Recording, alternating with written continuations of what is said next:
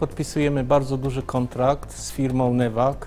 Kontrakt na 35 pociągów dwunapędowych, kontrakt wart ponad 3,3 miliarda złotych. Pozyskanie 35 pociągów pozwoli nam na rozbudowę oferty przewozowej, szczególnie na liniach e, niezelektryfikowanych.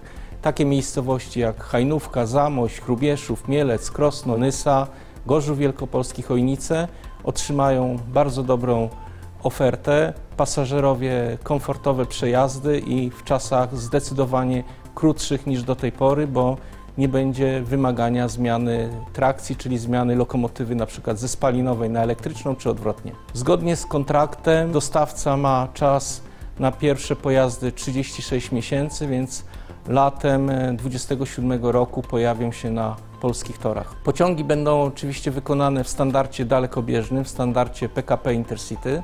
Pociągi są dwunapędowe, czyli mogą korzystać z sieci trakcyjnej, czyli typowy napęd elektryczny lub mogą korzystać z silnika spalinowego, ale ich zabudowa modułowa pozwoli w przyszłości zamienić silnik spalinowy na napęd e, wodorowy. W najbliższych dniach już będziemy podpisywali kolejny bardzo duży kontrakt e, z fabryką Cegielskiego z Poznania na dostawę 300 plus opcja 150 wagonów pasażerskich, nowych wagonów.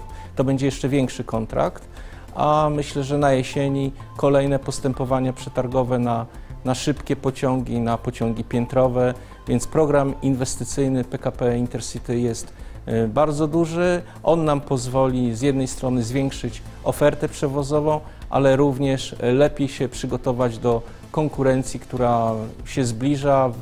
Rynek przewozów pasażerskich w roku 2030 zostanie uwolniony i chcemy się do tego jak najlepiej przygotować.